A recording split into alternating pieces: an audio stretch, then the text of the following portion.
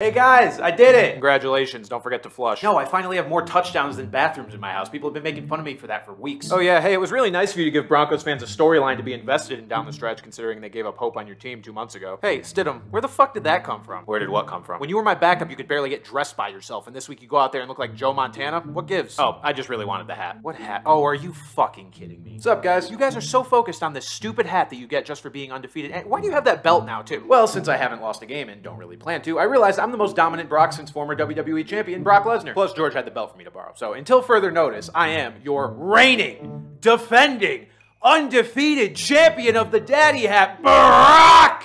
Per! Shut up. Why do you all care so much about this stupid hat? I don't get it. Why are you so against it? We're just having fun. Tom's a little sensitive when it comes to being undefeated. Aren't you, buddy? Fuck off.